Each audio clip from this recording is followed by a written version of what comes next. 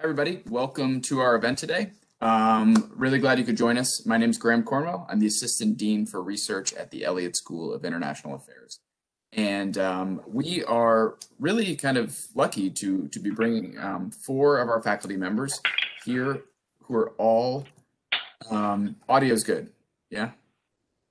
Okay, who are all journal editors, uh, scholarly journal editors and um, for just kind of a free flowing conversation about what it's like to be a journal editor. Um, you know, what what kinds of uh, what kinds of things are they looking for in a piece? Um, how is the, their their journal changing, or you know, how even has being a journal editor informed their own work? So um, the floor will be open later, and we have some questions that have been pre-submitted. If you have questions, please send them directly to me via uh, in the chat, Graham Cornwell in the chat, um, and I will um, uh, hopefully hopefully get to them. I'm just going to briefly introduce our panelists and then um, kick it to them for some a very short introduction of their journal and their work, and um, and then we'll the floor will be open to to Q and A. Um, okay, first we have uh, Marlene Laruelle. Uh, Marlene is a research professor of international affairs and the editor in chief of Central Asian Affairs, as well as the director of our Institute for European, Russian, and Eurasian Studies here at the Elliott School. Next, we have Dr. Alexander Lennon. Um, Alex is pro professorial lecturer in international affairs. He has served as the editor in chief of the Washington Quarterly for over 20 years. Then we have Dr. Jisoo Kim. Jisoo is the Korea Foundation Associate Professor of History, International Affairs, and East Asian Languages and Literatures, as well as the editor in chief of the Journal of Korean Studies and the director of our GW Institute for Korean Studies. And last but not least, we have Dr. Harris Mylonas. Harris is the is Associate Professor of Political Science and International Affairs and the Editor-in-Chief of the Nationalities Papers, published by Cambridge.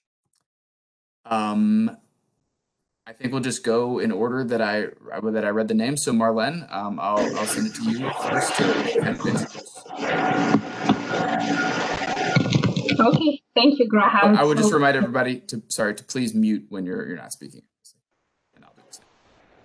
Thanks, Graham. So, yeah, I'm the editor, the chief editor of Central Asian Affairs, which is a journal that we created like uh, six years ago at GW. That is now a peer-reviewed journal that is in the process of getting in all the database because usually you need five years of a journal before accessing the main kind of Scopus style database.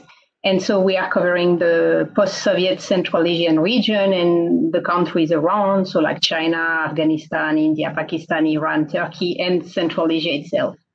And the main challenge that I have as a chief editor is that everything is done on a voluntary basis, right? So finding reviewers is our key issues and probably the, the, the issue the most difficult we have to face. It is to find people who have time to review one advice, because we have been asked to be very short, so to have more time for discussion, one advice to give to junior scholars who want to publish is that you really need to look at the journal you want to publish before beginning writing. You need to look at the previous issues, to read previous articles published by that journal, to get inspiration on the way the article that have been published are framed to, to give you more chance to be published. So that's, I think, a key uh, issue that very often junior scholars write an article without having in mind any specific journal. And that's how things get difficult. You really need to look at the journal first. And I will just stop here. I was very brief. Thank you, Marlene. Um, okay, Alex, we'll send it to you. Hey everyone, uh, my name is Alex Lennon. I am the editor of the Washington Quarterly, and as Graham said, I've been doing that for about uh, 22 years. Um, the Washington Quarterly actually started as the journal of the Center for Strategic and International Studies, um, which is when I started in 1998, and we moved actually to GW at the beginning of 2014 uh, for a variety of reasons. Um, I'm going to save the sort of uh, anecdote about how I got to be the editor for the discussion because I think that's going to come up in there. The journal, as some of you may know, is um, broadly on security affairs writ large. We look for diverse perspectives on issues of strategic significance to global security. Um, and the tradition of the journal has a lot of uh, its background prior to me coming on, actually 20 years ago, even in nuclear issues in particular, uh, arms control and nonproliferation. We do a lot of work on China and Asian security, increasingly with India as well. A lot of work on the change of coercion, um, not just on military force, but increasingly on sanctions and sanction strategy. And uh, the course that I teach in the spring is on US grand strategy, which fits very much in with the journal. It's basically looking at the variety of ways, approaches, uh, both tools and challenges for global security and grand strategy. Um, and with that, I'll leave the sort of uh, other details for those questions and answer discussion. Look forward to it. Alex, thank you. Um, okay, Jisoo, you're next, please. All right. Thanks. Um, so I'm the editor in chief of the Journal of Korean Studies. I uh, it's not been long since I succeeded this role. I succeeded this role um, during the summer of 2019, but it officially um, so the office of the Journal of Korean Studies officially moved to GW from Columbia University uh, starting from February, early February, uh, earlier this year in February, so 2020. So, but the history of Journal of Korean Studies goes uh, way further back. So it was first established in 1969. So it's been 51 years now, and uh, it is dedicated to publishing quality articles in all disciplines uh, in the field of Korean studies. Uh, so it covers a broad range of top topics concerning Korea, both historical and contemporary. And uh, the journal encourages transnational interdisciplinary approaches to scholarship. And one of the leading journals in the field of Korean studies, the journal continues to play a critical role in encouraging high quality um, scholarly discussions and shaping the field. So it is, um, it covers really a broad uh, disciplines. And um, so as, a, as you know, uh, the Journal of Korean Studies, what it's mainly looking for is really uh, the, uh, the manuscripts that that could appeal to wide readership. So that's really uh, very very important. Um, and so we consider readership scholarly contribution and also quality of the manuscript. So these are the main things that we look for when we uh, read uh, when we receive manuscripts. Well uh, well, one challenge, as Marlene mentioned, really finding reviewers is always difficult. So that's always an issue. And um, so for advice when you're when you're uh, submitting uh, articles, I mean manuscripts to a journal, I think it's important to really um, look for what's the uh, scope and uh, aim of the journal. So it's to do your homework first, right, before submitting it. So what this journal is looking for. All right, and I'll um, I'd be happy to answer any questions later. That's perfect. Thank you. Um, and Harris, please take us away.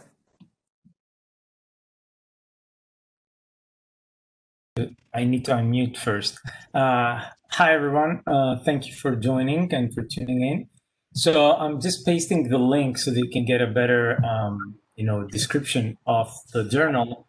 Um, but basically, we're a multidisciplinary journal, Nationality Papers. We were founded in 1972, so we're quite old. Um, and um, as you can tell from the title, this was um, a title that was more or less um, inspired by the nationalities policies of the Soviet Union. So initially, it was primarily focused um, on Soviet Union policies uh, vis-a-vis nationalities, right?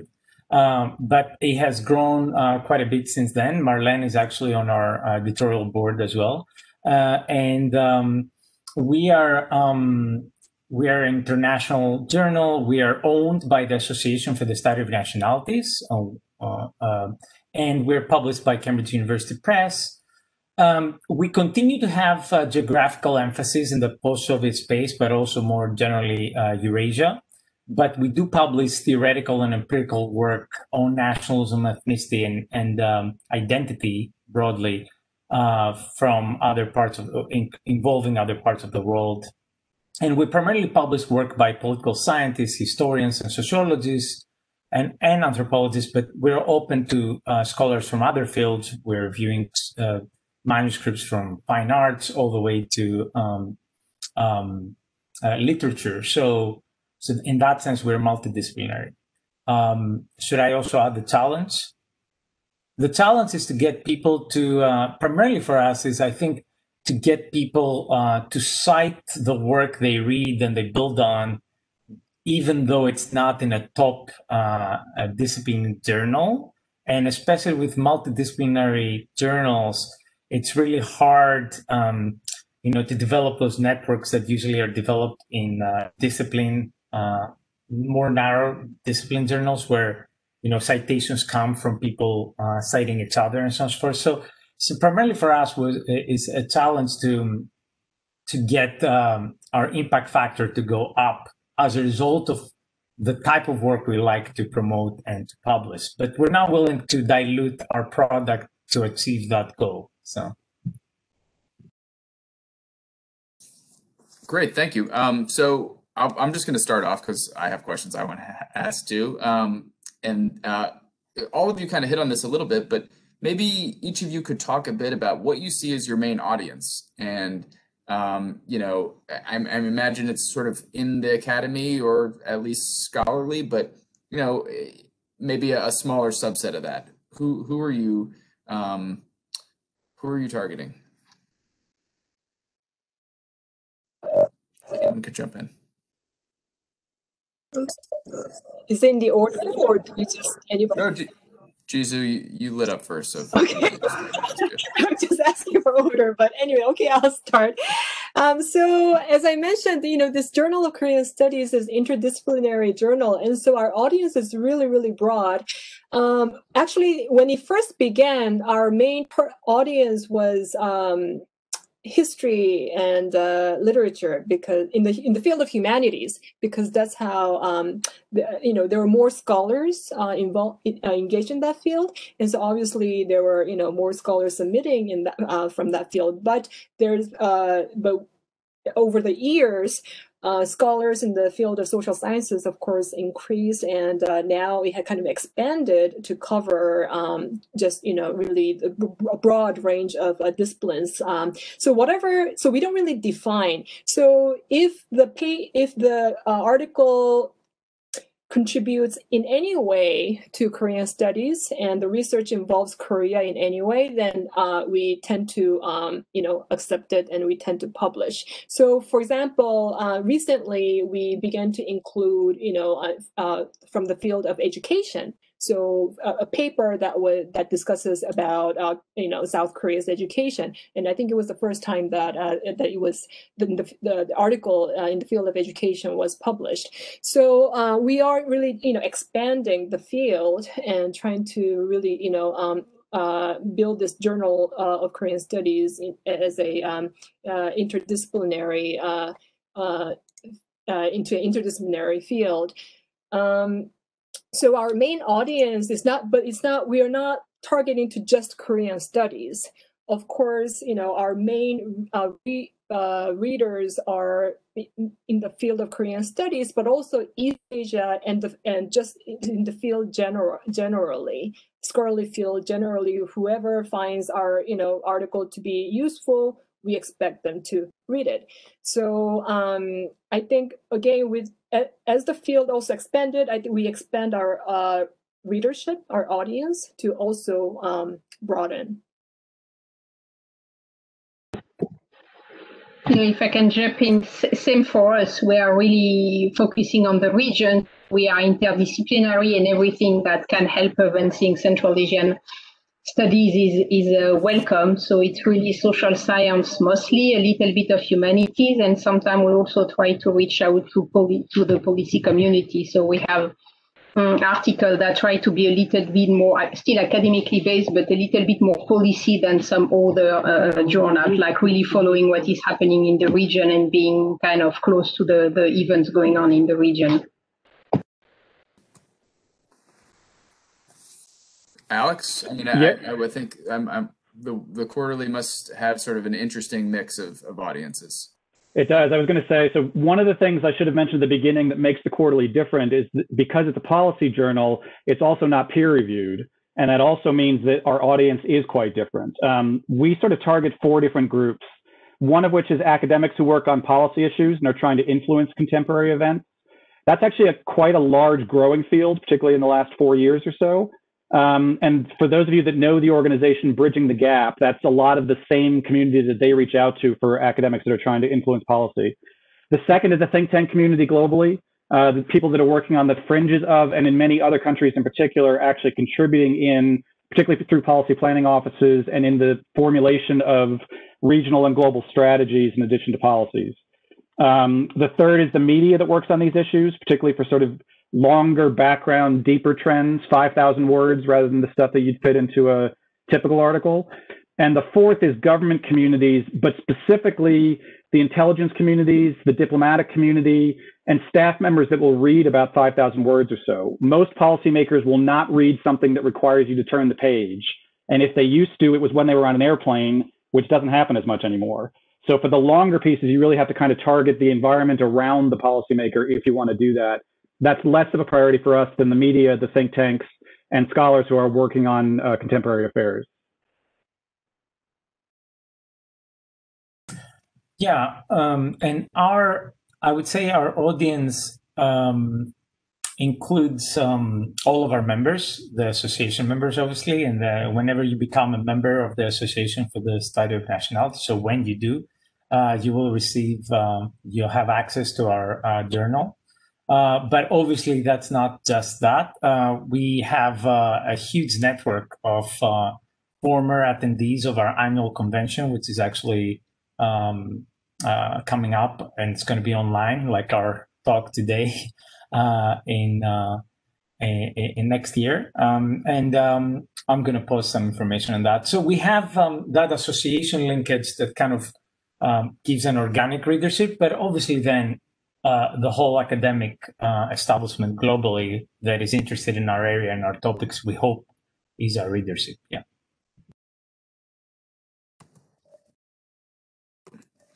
All right. Uh, I'm going to ask one more, and then I want to turn it over to every, everybody else. And this actually comes from the, some of the pre-submitted questions.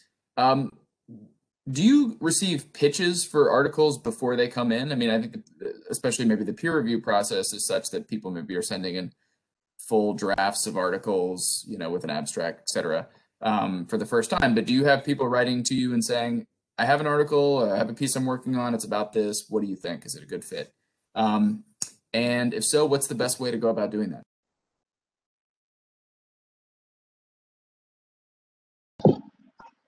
Or I can jump in. Yes, we are receiving them often abstract, sometimes already written paper, so they don't submit to the platform, they submit to us asking would that fit. And sometimes even receiving master thesis entirely with students asking, okay, if I rewrite my master thesis, that do you think that would be that would fit your journal. So uh, we got a lot of this kind of uh, spontaneous, let's say, uh, engagement, and it's even not submission, like pre-submission.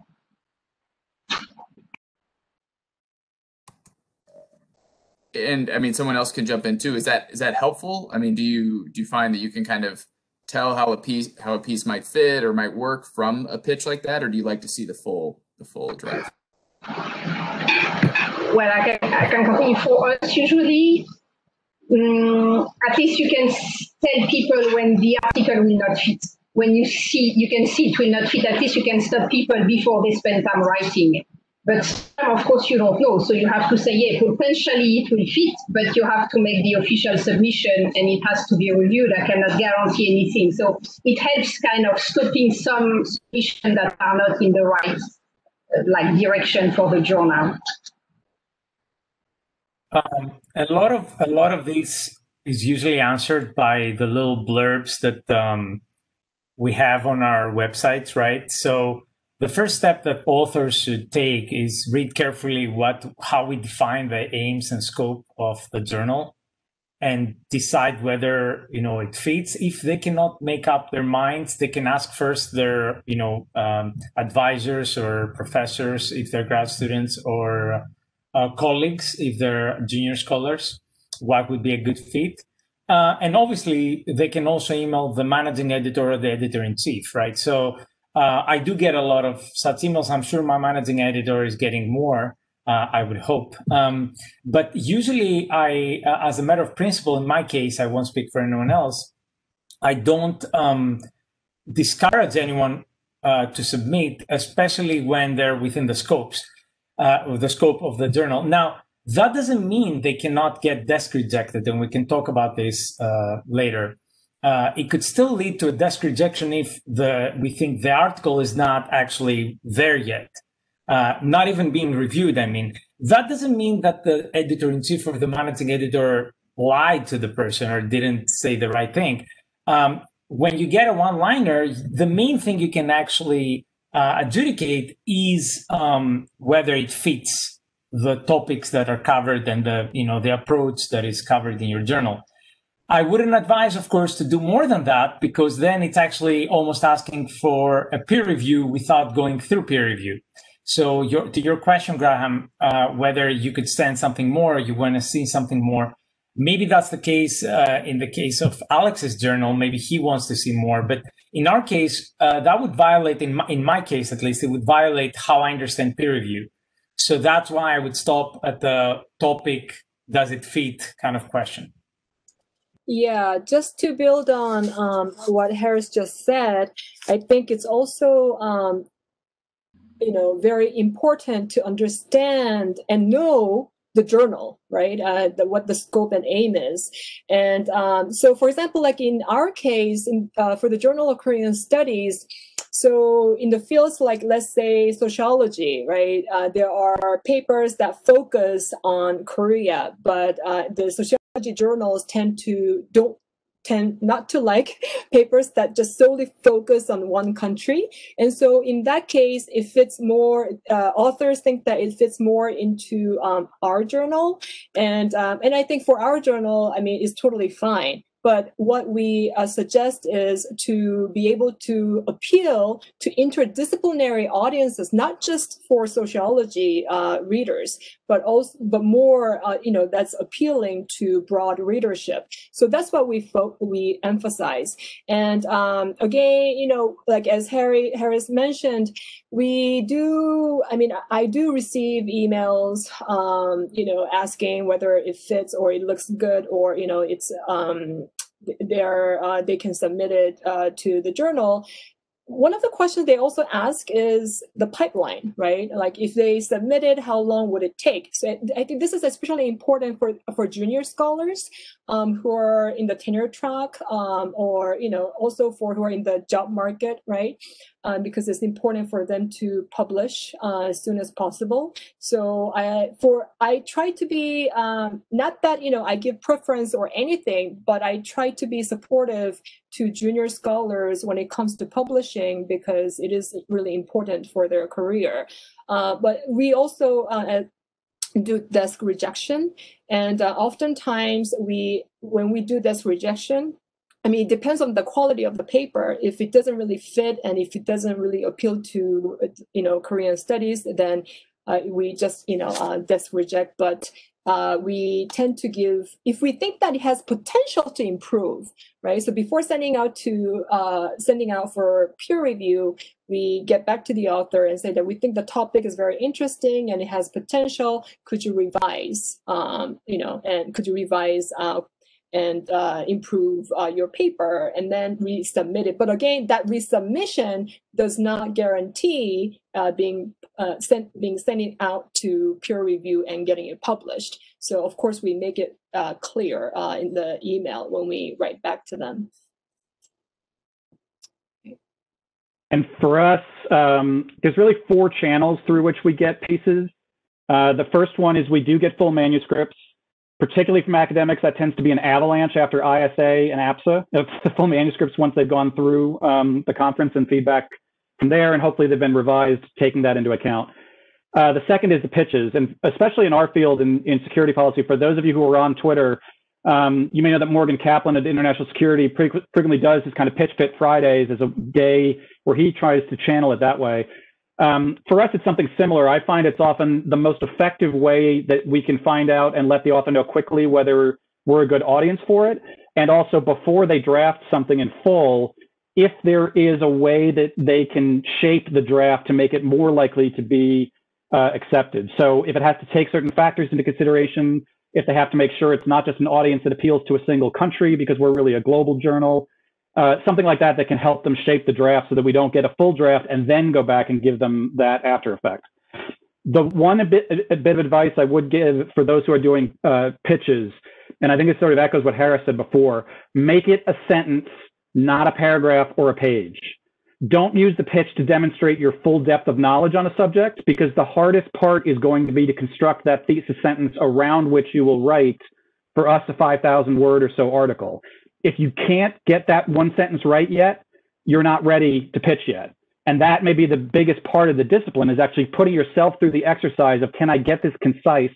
Can I get it in a way that an editor is going to read it quickly and be able to make a quick determination and not feel like I got to demonstrate that I know the globe's history on this subject uh, in you know a long email, that's going to make it much more likely to have a, uh, an effect or be uh, directed um, uh, most well. The advice I actually got from um, John Steinbruner, who was my dissertation chair, having written 300 you know pages, is when you have the one sentence version to start your defense right, you're ready to defend. So if you can do it with a 300 page piece, you've got to be able to do it with a concept for what you're going to write an article of about 5,000 words or so for. Uh, the other ways that we take pieces are the third is we recruit based on pitches. What I mean by that is I've had a lot of articles where I've seen Twitter discussions from people, particularly since the pandemic has started, or prior to that from DC area um, uh, conversations, Council on Foreign Relations meetings, Brookings meetings, Carnegie meetings, places where people are really trotting out their ideas before they feel they're ready to put them yet in the permanence of putting a full article down. And if it's something that I think is interesting and isn't out there, we'll reach out to them based on that. And sort of that is the trial run for what they're willing to put into a larger piece. The very rare case is the fourth channel, which is we do a full solicitation of something that nobody's written before. One example of that that might give you a sense of how rare that is is we solicited Joe Nye for a piece on interdependence with China and the risks of decoupling because of the book that he had written in the 1970s, Power and Interdependence. So it's very rare that we go out to somebody and ask for a full article, but it does happen occasionally in our cases. Keep the pitches short though if you're going to pitch, and send them by email um, is the is to me uh, and for a journal like a policy journal like us the best way to do it. Great, that's that's super helpful. All right, we're going to turn to audience questions now, um, and the first is just simply, do you publish graduate students, PhD students, and if so, how often? we don't we don't discriminate based on any any characteristic to be honest i mean we actually actively are trying to recruit also marginalized uh, articles from marginalized communities or underrepresented communities we have included that in our instructions to the authors so uh, anything that is within our aims and scope uh, description um, that fits the way we describe uh, what we publish, which goes back to the distinctions between what Alex is publishing and what we're publishing. So, for example, we have our our upper word limit is twelve thousand words. That's very different from what Alex can publish, right? Uh, so, within those bounds, um, if I receive a two thousand word article that claims to be a research article, it's not because it's coming from someone who is a professor or not that I would publish it, right? Um, so it has to fit what we consider a research article and uh, and check some of those boxes. But it doesn't really matter who is submitting from from my perspective, at least. I, uh, yeah, I think I, I, I agree. It's the same for our journal. We don't discriminate, or we don't, you know, I mean, we don't take into consideration um, uh, um, of uh, we. So we, it's, it's it's purely based on the quality uh, of the article and how it contributes to the field. Uh, so if let's say a grad student, it could be MA or PhD student who writes an excellent paper, of course we sub, uh, we publish it. So we don't. That's really not a, a component that we take into consideration. Yes, same for us. And in fact, the, the, review process is blind, right? So people reviewing the article have no clue who are they are, who they are reviewing. It can be a, grad, a great grad student or a very famous professor. They have no clue. I mean, they can guess because based on the context, if they see the article having a very kind of schoolish style, they can guess it's still a student. But otherwise, no one knows who is submitting except the chief editor who can access the page with the name, the emails, and sometimes you can guess, okay, it's a student. But otherwise, the, the reviewer had no clue. So they, there is no discrimination. It's really the context that will make the difference. If I, if I can add something um, on that, it's the way we have a lot of power, and that's why I emphasized, you know, un- underrepresented groups in academia, whatever you know, meaning like whatever other category you want to mean, uh, you want to put there, because it's not just um, junior scholars, because that was your question. It could be people of color. It could be, I'm saying it's not just one way you could have people who are thinking they may be somehow not given uh, the full um, extent of our attention. For example, it could be people who are whose English is not good. We get a lot of such admissions.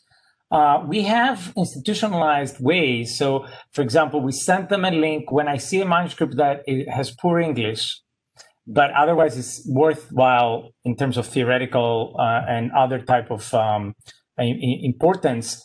Um, I will suggest to them, and I have done that, to go and get some editing services first. Uh, and there are discounts. There are some uh, some places where they do it even uh, pro bono, because then um, the review process won't uh, bring it back as a rejection because ju- just because of the English, for example. Or the other dimension that I want to mention that may be relevant for people is if somebody is using a methodology that is not mainstream, right?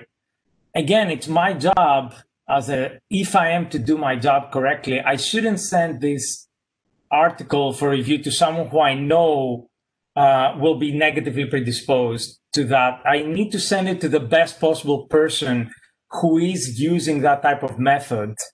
Uh, now, again, sometimes that's impossible, meaning it, it, it may be impossible literally to find someone who is using a particular type of methodology that is an expert also on the particular topic and that combination may not exist. So you're trying to find someone who's an expert on the area and an expert on the methodology. So you those are now going back to challenges. Those are some of the biggest challenges in my view. Yeah, and for us, I think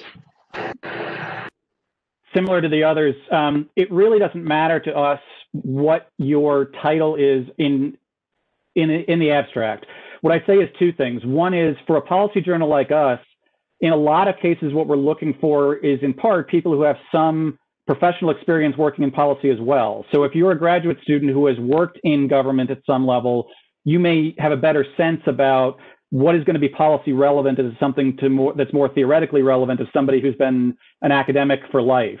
That's not always true because there's a lot of overlap and some people are more attuned to and try to and experienced in playing in the policy field or on the margins as well. But it doesn't matter what your title is, it matters what your training is in that way. And so, along those lines, what I would say is just the process of writing a dissertation makes it much more likely that you are going to approach an issue with novelty. Right? A lot of master's assignments are a defined question on a set of research materials that is presented in a class, or it's a research paper that responds to a prompt that the professor gives the students. The PhD process is a bit different because you have to actually design the question that you're answering in the first place. And that's a bit more going to train you to be more likely to approach something uh, in the abstract. Now, if you have other experiences that train you to do that, then you have other experiences, and that's fine. I think it's much less likely. One of the things I would encourage people to do, at least for a journal like us or security policy journal, most universities have embedded within them student run journals that are good training grounds to go through the process of policy journals. So at GW, for example, there is the International Affairs Review, which is a student run journal. Georgetown has a security studies journal that's also run by a graduate student that would put someone through the same processes that would go through. It's just the competitive field is a bit different because it might be other graduate students or mostly graduate students from that school rather than the universe of people that are trying to write on a subject, which at least in the case of of the uh, journal like the Washington Quarterly, we publish 40 articles a year and are trying to recruit not just American trained uh, authors, but we have a lot of authors that come from China, from France, from Germany, from the UK, from Iran, from all over the place. So the competitive field that you're working against is a bit different, and getting that experience of going through the process is a good training ground, even if it's not going to be something off the bat that gets you into, uh, you know, a journal like one of the four run here with your first shot. Great. Um, uh, okay, on to another question. Um, how did you become a journal editor? Was it a goal you always had or an opportunity that came along by chance? Were you begged by the, the I may take, editors? My uh, experience is so anomalous that it might be good to go first. Um, I had gone back to CSIS in the late 90s after starting uh, a stint briefly at the State Department The founder of the organization, who had been in place since CSIS started in 1962, was retiring. And I was the deputy director of studies, and there was an internal review of the organization from top to bottom. In those internal discussions, I was the one that advocated the value of the Washington Quarterly as a educational tool that did something that no other part of CSIS as a think tank did, particularly because it had been so fundamental to my training as a graduate student at that time, just starting in a PhD program in the late 90s, um, that I had learned international affairs through reading journals like the Washington Quarterly and thought it was particularly useful.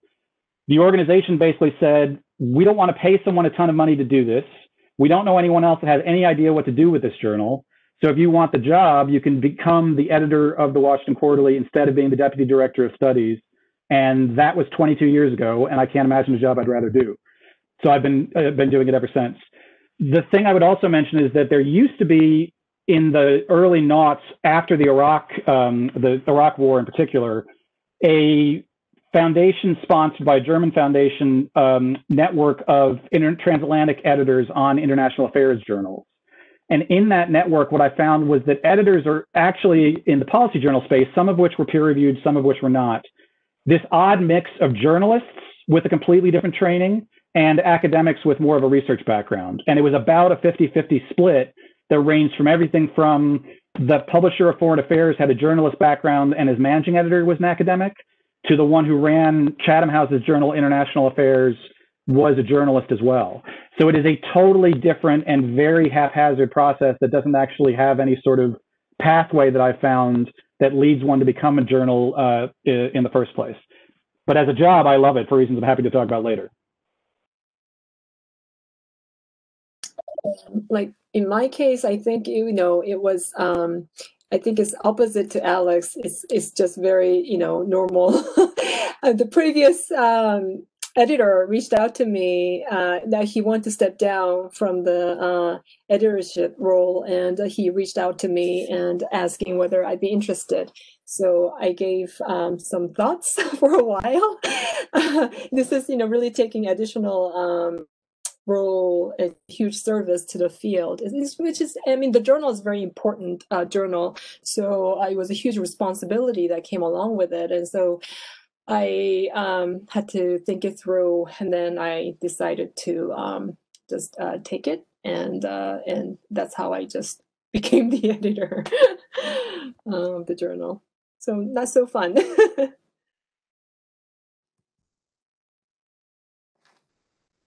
Marlene Harris. I guess Marlene created it, so in my case, I was a member of several other editorial boards for other journal. And then when I launched the Central Asia program at GW, I realized how much we were missing a kind of peer review academic journal on the region. And so I launched it. So, but as it was just said, it's a huge service to the field, but it's, I mean, I'm not enjoying the job particularly, I must say. I think it's a burden more than anything, but I'm doing it because it should be done. But it's it's a tough job. Yeah, so so uh, everybody has a very different path. That's why it's fascinating. Um, we have uh, we're all part. Every editor has been a part of the Association for the Study of Nationalities that kind of you know go hand in hand. So I joined the Association for the Study of Nationalities as a member in the early 2000s, and then in the early 2000 you know 2010s, let's say uh, the then editor in chief, Florian Bieber, who's now actually the president of the association. There's a, a, a revolving door there in a way.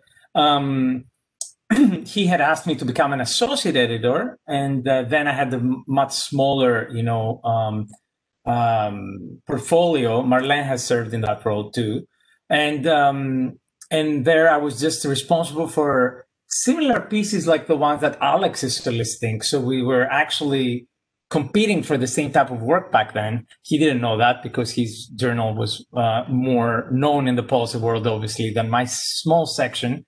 It was called the analysis of current events. And we would get like prominent figures that had um, experience or younger folks actually that had involvement to write on current events. So it was very different style than what we usually publish. So it was only one article per issue uh, when we published about 10 articles per issue. So, um, and then uh, when uh, after another editor in chief uh, was in that position, Peter Rutland, then I was kind of tapped to take over. So it was more organic because of the, my my involvement in the association. I was on the board of the association, so kind of it's almost like half uh, an honor, half uh, a curse kind of thing. You you gotta you know take one for the team kind of thing. Yeah. It's very very generous of you. Um, this maybe maybe a quick question. Uh, as I returned to my my uh, physical mailbox on campus at some point in August and had three journal copies waiting for me that were you know six months old, um, it made me wonder. And we have a question uh, in the comments: Is there a future for paper journals, or is the trend towards online um, publications irreversible?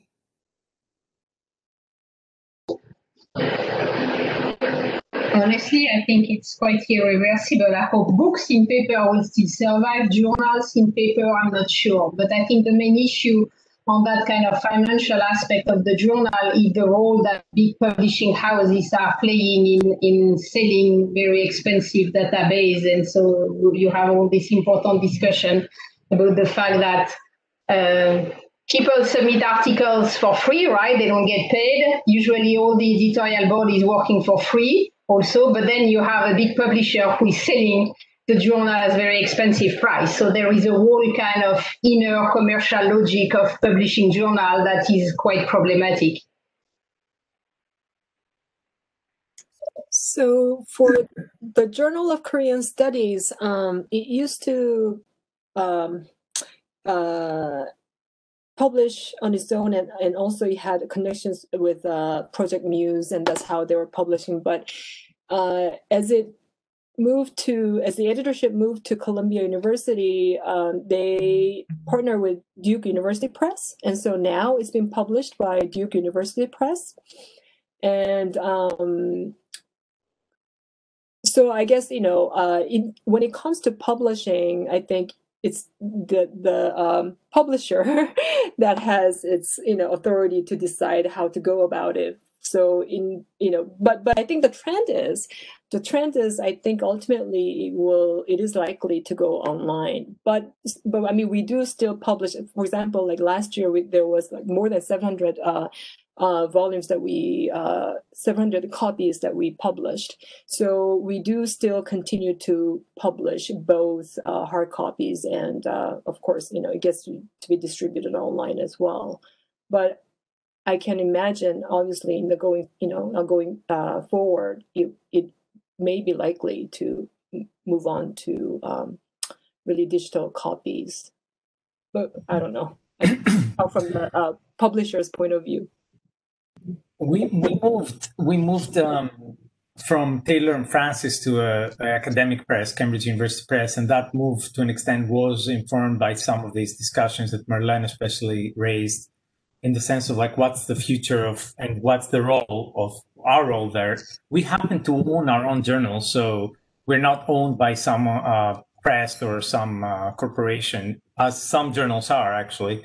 So we have the you know capacity to move uh, our journal around, as Jisoo's journal as well, I guess, and Marlene's is also able. I don't know about Alex, how, what's the you know structure. So some journals though are owned by the press or are owned by let's say um, Sage or uh, Taylor Francis or what have you, right? So so that's a very different situation. So that's one thing to for the audience to keep in mind. The second one is um, let's not conflate the access, open access online or in print with uh, print or online, right? Those are two separate, related but separate questions.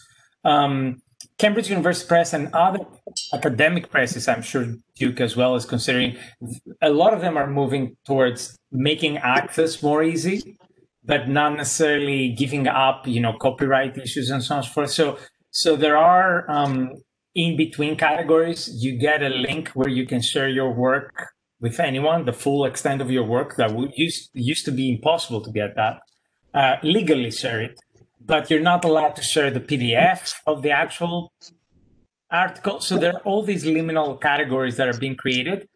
All of this looks like we're moving towards more uh, open access for the reasons that Marlene indicated. Um, and that's spearheaded by academic presses, not obviously by those other um, companies, because again, there are financial implications that uh, go with it. The online versus print, I think it's also it's actually independent because it's uh, to an extent driven by the customer as well, right? The audience. So uh, I have been choosing online from a lot of the journals I'm subscribing just because it's easier for me and I don't have the space problems and so on so forth. So, so a lot of it will be driven by demand, right? It's not, it's not a, the politics of, you know, um, um, copyright infringement and, uh, or, um, uh, all these packages that Marlene is talking about that are sold, um, uh, in libraries that are both for online and print, right? So, so those are related, but not the same exact uh, type of uh, conversation. Yeah, I think that's right. I mean, to a large extent, I think this can get over overrated about how, what the difference between the two is. It, I think if you look at three factors, they're all driving it toward um, online more, with with one exception in general, the cost is less because there's no printing costs involved as opposed to digital production.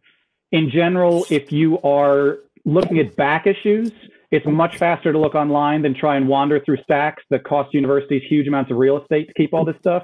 They're burning all the old volumes that they used to. So it doesn't make any sense to keep all that back issues when you can do it electronically through some of these aggregators like Project Muse or others. And third is if you want the new issue, it's much faster to get it digitally rather than wait to get your hands on the hard copy or figure out how to do so. So whether it's the speed and the ease of immediate access or the background of doing a deep dive on a research topic for back issues, it seems like we're moving in that direction. The exception is people that either like to put their hands on the copy when they read through it, and particularly if you have a, a, a narrower base that really reads one journal religiously and other things loosely. That one journal may be something that academics want to keep on their bookshelf, that somebody wants a hard copy of something that they uh, printed or were published in, that an editorial board member may want a copy on their bookshelf of. But unless you want that kind of trophy effect of a printed copy, it's moving digitally. And I think uh, Harris and Marlene both hit it on the head. The question now increasingly is becoming open access versus not rather than digital versus print. That's the way the industry has moved in the last couple of years. Um, want to ask a question about non-native English speakers, and you know, uh, Harris, you touched on this a little bit, but what do you do when you get a um, a publication uh, or a submission rather that is has some quality ideas? You know, definitely sort of uh, in the mix to be published, but um, you know, is kind of lacking the the grasp of English to to maybe fit and be at the level of your journal? So I can tell for us because the majority of submission we received are, or let's say half of the submission at least that we receive are not by English native speaker. So if the article is accepted, the English is really an issue, then it's more or less on me to decide if either I send back to the author asking him or her to find an editor, knowing that for people from the region I work on, it's often very expensive to find a, a, good uh, English editor, or sometimes if really I consider the topic is really incredible, I really don't want to miss the opportunity, then I have the, the um, Central Asia program editors and I kind of decide. So it's, uh, let's say, at my discretion to decide if I want to participate in editing the article on our own budget or if I send it back to the to the, the author. But we can do that because we are a small structure. We don't have so many uh, uh, articles and, and the programs and the journal are kind of interacting. So for any for other journal, I think it would be much difficult to decide to edit, you know, article on their own money. Um, we receive uh, many papers from Korea, so from um, non-native speakers, and uh, English obviously um, is an issue for these scholars. Um, so what we so in order to encourage scholars from Korea to submit, um, so that you know we encourage more interactive dialogue uh, in the field, we have asked. Um, so we have asked them to they can write their paper in Korean first and then because sometimes you know to publish to um, the journal they try to write in english and which really makes it more awkward. And so uh, they we um, we've encouraged them to write in korean first um, and have a full paper and then um, have it translated to english um, and then uh, submit. But but we have uh, but it is difficult for the journal to be responsible. We do uh, ask ask authors to be responsible for the translation um, if they want to submit it in English. So, um, I mean, there is that limitation, but uh, that's how we encourage uh, right now, especially for scholars uh, uh trying to submit in English uh, from Korea. Alex or Harris, you could add. Yeah, I mean, I, at least for us, I think for because we're a global security journal, because we work in international affairs, I view that as our job. It's not about the quality of the English language writing, it's about the quality of the ideas behind the writing. And so there's two different times when you're looking through it. One is when you're considering submissions and deciding whether to publish it or not. And that much more for me is about the way the article is framed and the methodology they use to support the argument. It's not about the detailed writing and the grammar and the sentence structure and the language. And then of the 10 articles per quarter that we publish, that's where my associate editor is fantastic, Catherine Kaufman, who's a GW student. That's where she makes her living. That it's her job to make the quality of the ideas conveyed as clearly as possible. And it's it's better when the author can do that and they have to approve all the language that is used but it's part of our job to make that as effectively as possible, especially for people who are not first language English speakers. That's what we do to get a variety and a diversity of ideas of non-English speakers in global security affairs. yeah, um, I, I, already kind of spoke to this matter, but uh, just to add that um, primarily uh, there are two ways to address this. I've um, talked with my managing editor and we try at the at the um, submission stage to if if these if we think that the language will be a problem to the extent that um, the reviewer is going to uh, not decide not to review based on that, then we send it back to the author and give the you know the advice that I told you earlier. Um, if unfortunately we don't have our own resources to do that internally, if if it's good enough to be reviewed, we don't think, but it's not good enough to get published. That's a different category of manuscripts. Then uh, we do take care of it at the stage after it's being accepted. We do have obviously our own, in, in, you know, copy editors, and Cambridge University Press has that capacity to improve the English at that stage, and we do a lot of that. I mean, we do that for native speakers, not just only non-native speakers. Um, but but uh, the most difficult situation is when you get something and you may just reject it because just for the language uh, because it may make your life easier I, I understand if some editors in chief do that, but I can, as a non-native speaker myself, I, I don't do that uh, on the basis of language. Um, but you know, sometimes it's not just language, so it's not, language is yet another you know, problem. So so we do desk reject um, uh, manuscripts quite a bit, but it's not because of language, in my, in, at least in my view. Yeah. Yeah, just to add, yeah, I agree with Harris. I mean, it's uh, you know, when we, so when it gets to the um, so if the manuscript is accepted and uh, peer reviewed, after being peer reviewed, if we decide to publish, then I mean at that point, as you know, Harris pointed out, I, either be native speaker or non-native speaker, all papers go through that copy editing process, and uh, Duke University Press, you know, uh, handles that professionally. So uh, we rely on them uh, with a with with copy editing process. But before, so but when we are th- talking about at the you know um, uh, uh, when, when it's been re- when it's been decided at the uh, desk uh, level, then I think what's yes, I mean at one point I think on the one hand language it has to be written um, to the point that you know our reviewers will read it and review it. Um, because if not, then again, if they don't review it, then there's no whole point. So it has to be to the point that it, you know you will be able to be reviewed.